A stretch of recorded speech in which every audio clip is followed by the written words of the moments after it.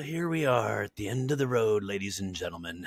Thank you for traveling this road with me. Here we are in Dominion Domination. The only time I have ever taken someone from the very first day to the very last day in the Dominion Mesopotamian mode.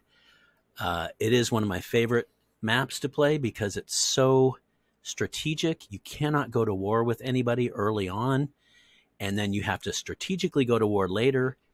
Uh, it's unlike any other mode. There is cooperative play occasionally, um, frequently, but uh, let's just take a look here. What's going on with our game? Our beloved game that we've been tracking now for weeks and weeks, and it is over. It's over, folks. so there you have it 15,000 for winning. It should be more, by golly. Uh, such a hard mode to, to win. I've played this a bunch and I've, you know, probably won it just a handful of times. I guess I could go over to my stats and check that out. I'm not sure if it tells you what kind of game you won.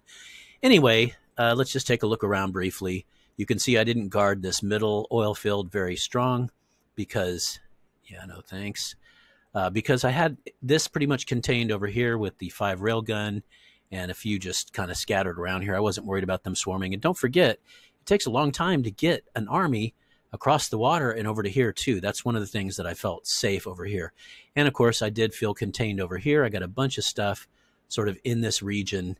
Um, they could get overrun for sure, especially now we can see. Oh, I didn't notice that at the end of the game, you can see everything. Look at this. Look what this guy's hoarding back there.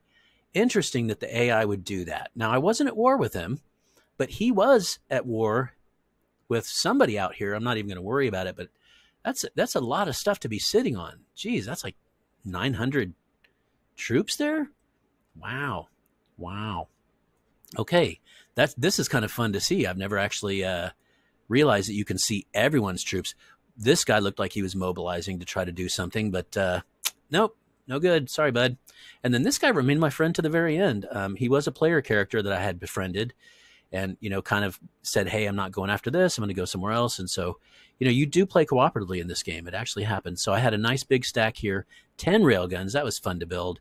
And then these are this is a bunch of fighters that i have um, doing this sort of aerial fl- uh, flower 13 of them. So they're all patrolling in this same little region here um, but if anything flew into it each one of those individually would attack and uh, inflict damage individually so that's kind of fun and but but then if you attack them, you could only attack one at a time.